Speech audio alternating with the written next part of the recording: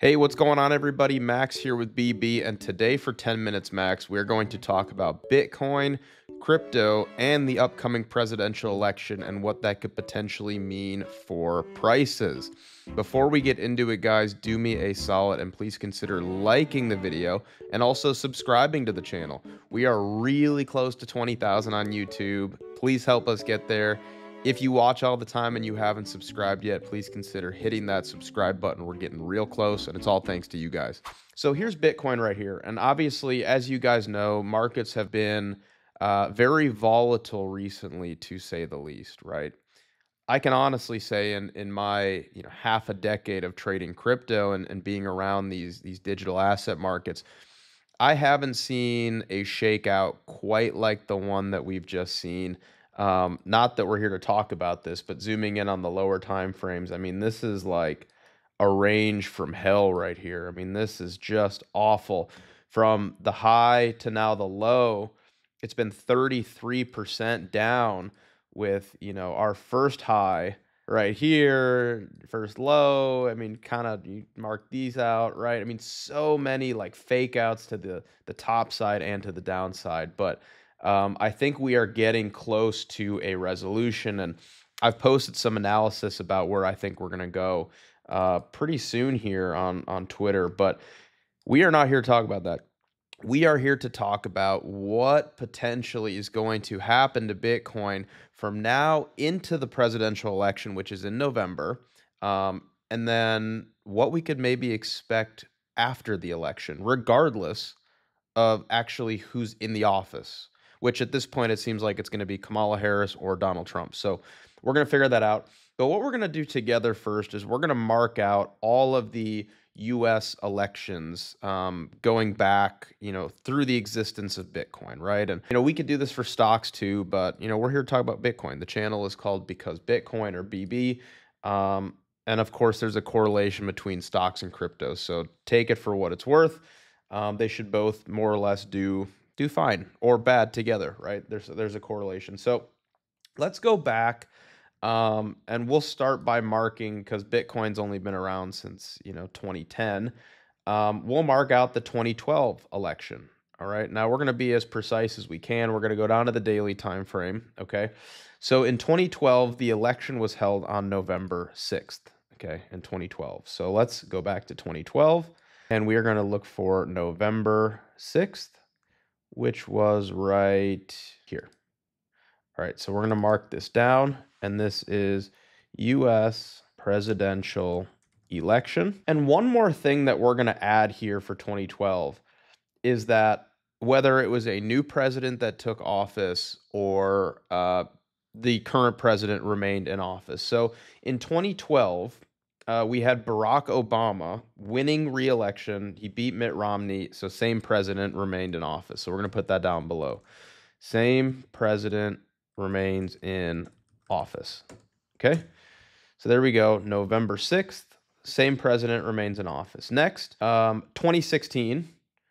We're going to move it on here. 2016. November, uh, it was November 8th of 2016. All right, so here's November 8th of 2016. And this was the election that Trump beat Clinton. So, US presidential election. And we're going to say new president takes office. All right, so this one was slightly different than the first one that we did, where Barack Obama wins, stays in office. This one, Trump beats Clinton, um, and new president takes office. Keeping it moving, we're going to go to November 3rd of 2020. All right, so let's see here. November 3rd of 2020. Zoom in a little bit more here just so we can be precise. All right, November 3rd, 2020. All right. So, US presidential oops, election. And for this one, we had Joe Biden defeating Donald Trump. So, new president takes office president takes office. Okay, great. So we have now all of the in Bitcoin's existence. We have all of the presidential elections um, marked out in its existence, and then of course we have our next one coming up uh, very very soon here. So that's going to be in November. Let's keep it moving here. I'm going to mark this out right here. Um, so that would be what, November 5th? So November 5th would be right here. So US presidential election. All right, November 5th. Now we're going to go throughout Bitcoin's history here. move it back to the weekly now. It might modify the date slightly because we're on the weekly, but it's fine. You'll get the point. And what we're going to do is we're going to mark out Bitcoin's price action leading into the election and then after the election and potentially forecast what is to come. So, something that I noticed right away is bear markets for Bitcoin seem to bottom somewhat before the election, right? And then you kind of grind up into it. So, let's mark out all the bear market bottoms for Bitcoin. I guess we could call this one. I mean, it's kind of a double bottom there, right? But you get the point. Um, bear market bottom, and then pretty clearly here, FTX low was bear market bottom. Okay. So we're going to mark out some colors here as well. And we'll mark this out from bear market bottom to the election. And we'll put this in, uh, we'll put this in orange. Just kind of like uh, we're not selling, but we're not quite off to the races yet. Let's do the same thing over here. All right. Bear market bottom to the election. Let's go again. Bear market bottom to the election. And how about right now?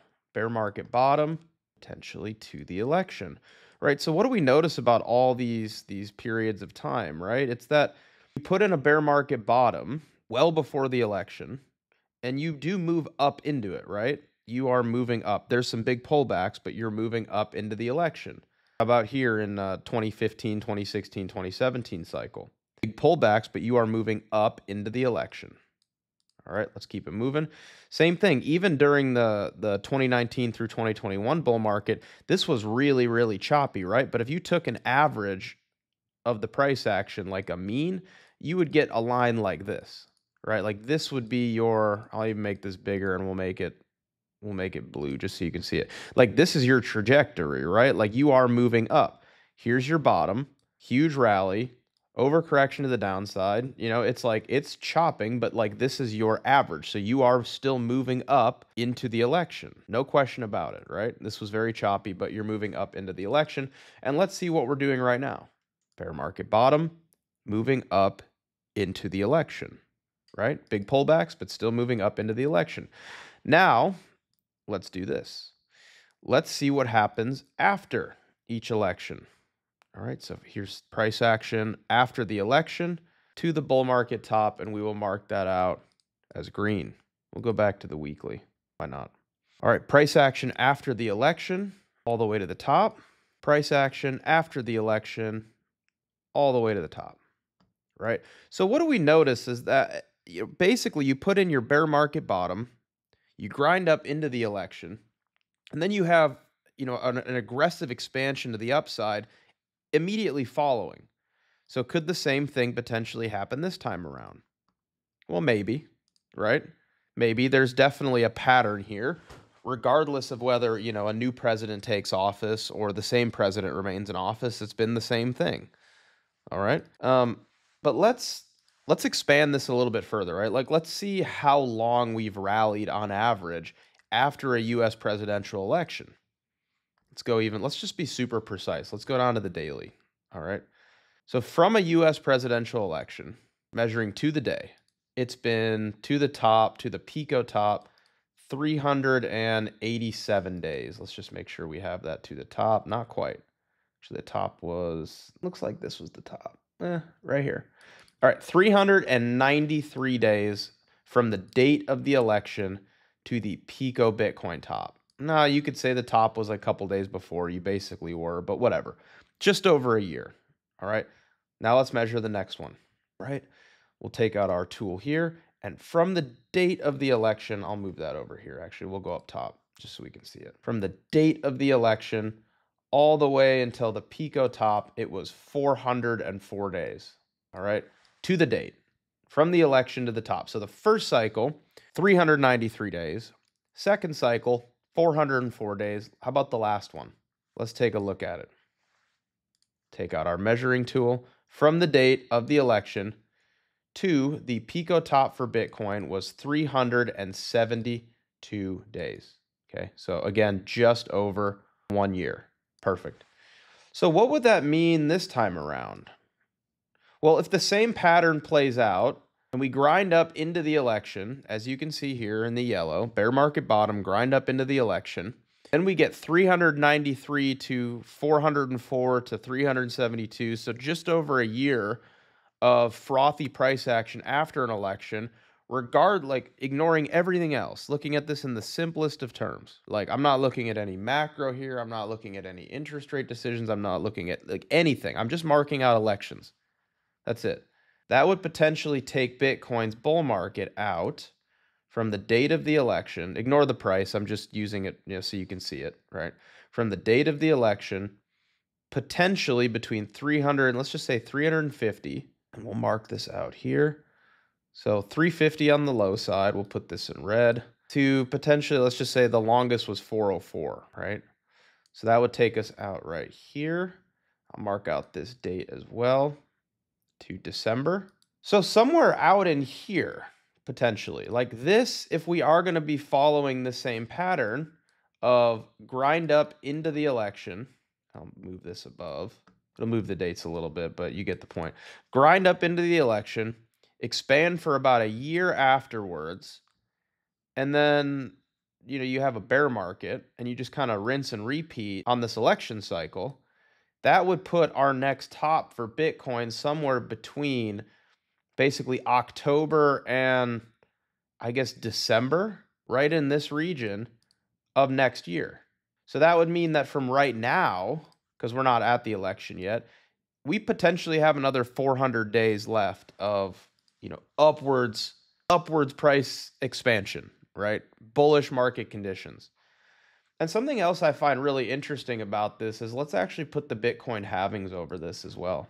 Look at how the Bitcoin halvings, they're marked at the top of my chart. Um, you can see right here with the thick, thick uh, black line. The first Bitcoin halving actually happened like at the US presidential election. Second one happened just before. Third one happened just before. Would you look at this? The one we just had happened just before. What do we notice about the previous two cycles? That between the Bitcoin halvings, which is the thick, really thick uh, vertical black lines right here, is that the price action leading into the presidential election is usually kind of junky. Like that's garbage. Big drop. You know, Bitcoin had actually pulled back from this high 40% and then took a while to grind up. It was moving up into the election, but it didn't actually go on into price expansion and, and like price discovery until much later. How about last cycle? Same thing. Garbage price action, mostly sideways, fake pump, big drop, grinding up into the election, but didn't actually take off until right after. How about this time around? I would say this is pretty in line with what we've seen historically. Moving up into the election, really, really junky price action uh, between when the Bitcoin halving was and the election. And we'll probably, just like the last two cycles, kind of, you know, grind our way up into the election and then we'll pop, just like we have the previous two cycles. Same exact thing. Grind our way up, pop. Grinding our way up, it's choppy, pop. We'll probably do the same thing again, right? This is, you know, maybe Satoshi knew something, maybe it's just coincidence, but Bitcoin halvings and elections are pretty close together. And the last two cycles, the Bitcoin halving has been just before uh, a US presidential election, and it's been pretty junky price action. So potentially the same thing's going to happen again. But guys, do me a solid before you go. Please consider liking the video and also subscribing to the channel. Again, we're almost getting close. We're getting really close to 20K. So whatever you can do to help us cross that milestone, that would be awesome. Check out the links in the description below, guys. If you want a more intimate look on how I am approaching markets, if you want to see totally behind the curtain, all of my positions, premium analysis, and, and content that we don't post here on YouTube or on X, definitely check out the first link. That's to our Discord, guys. What you could expect is over two hours a day Monday through Friday of private live voice calls with me and the entire BB team. And again, we share everything. So if you want a more intimate approach, behind the curtain, see everything, and open a 24 7 line of communication with me and the BB team, the Discord is for you. Additionally, as a bonus, within the next two weeks, you're going to get free access included in your existing Discord membership to our new flagship product called the BB Terminal, guys. It's an awesome product. It's got everything that you could ever need or want to succeed in these markets, all compiled into one super website. It's got portfolio tracking, derivatives data, heat maps, high time frame DCA indicators, literally everything that you could ever need or want, guys.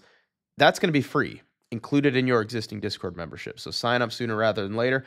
And definitely, last but not least, check out the second link, which is to the BB Academy, guys.